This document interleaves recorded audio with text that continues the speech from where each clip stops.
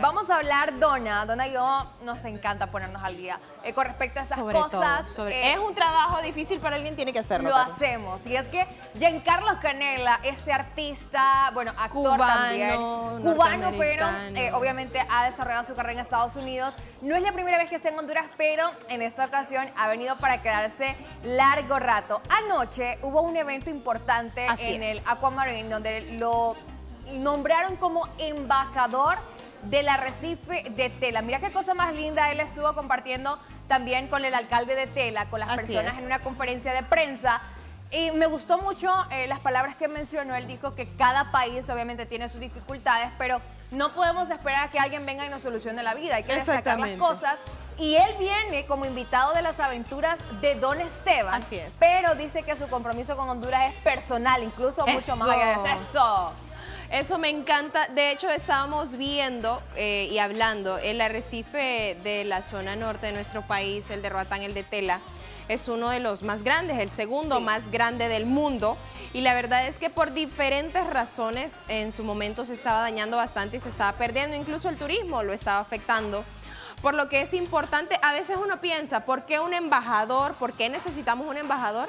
Y la verdad es que es necesario que personas que están ahí afuera siendo eh, ejemplo, están en el ojo público, vengan y hagan conciencia. ¿Por qué? Porque nosotros, Honduras recibe demasiados turistas, que eso es algo positivo, pero hay que hacer conciencia de la basura, de las situaciones que se viven siempre que uno viene, viaja, va a las islas o va a Tela.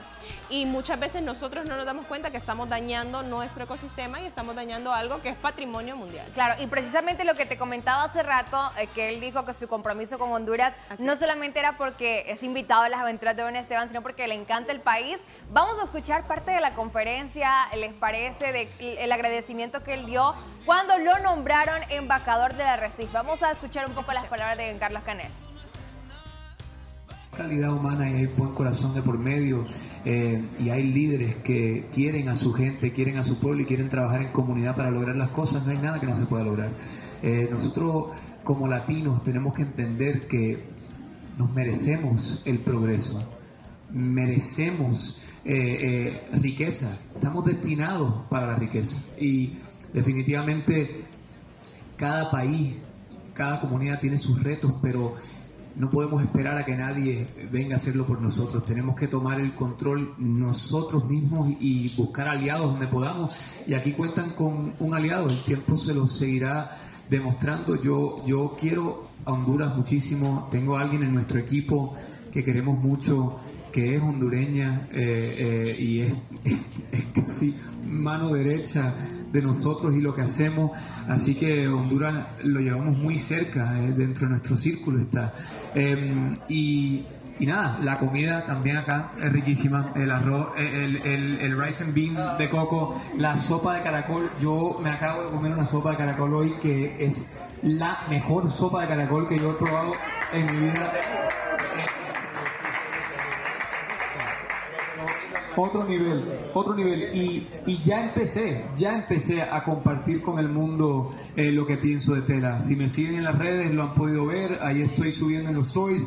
Y esto no es un compromiso, eh, esto a lo, mejor empezó con Tela gracias a, don Esteban y, y sus aventuras, pero es un compromiso. Bien, ahí estaba parte de lo que mencionó. Y es cierto, él en sus redes sociales ha estado compartiendo los lugares donde va. Mencionó que alguien del equipo eh, que trabaja con él es hondureña también. Y vimos a don Esteban, obviamente como parte de los agasajados también, por esa iniciativa que está teniendo. Así es, bien importante y bien bonito, pues. Él dice que le encanta Honduras y a nosotros nos encantan aquellas personas del extranjero que aprecian nuestro país, que valoran la riqueza que tienen nuestras tierras y obviamente las respetan y que las quieren representar a nivel internacional para que nosotros podamos recibir eh, aquello que necesitamos, que es cuidado de nuestros visitantes, apoyo de las autoridades nacionales y también, ¿por qué no, internacionales? Y hay que entender que sea como sea las plataformas que ellos tienen en redes sociales, exponen y qué mejor cosa cuando son... Eh, puntos positivos. Así que Giancarlo Canela va a estar en el transcurso de la semana. Aquí en Hoy a Estudiar le vamos a estar contando detalles de todo lo que está haciendo y por supuesto invitándole a que esté pendiente de este próximo programa que se transmitirá por Canal 11, Las Aventuras de Don Esteban. Así que no se lo puede perder si quiere estar pendiente de todos estos artistas que que están Deberíamos mandar sugerencias. Bellos por dentro. Sí, yo digo que podemos mandar sí, una sugerencias. de sí, hay varios. hay algunos unos pendientes que tengo ahí que, que, me gustaría que conocieran nuestro país y que disfrutaran de las bellezas que hay aquí. las bellezas, claro. Bellezas naturales. Bellezas naturales, sobre todo las naturales. Es cierto. Bueno, Nos quedamos por acá, señores y señoras.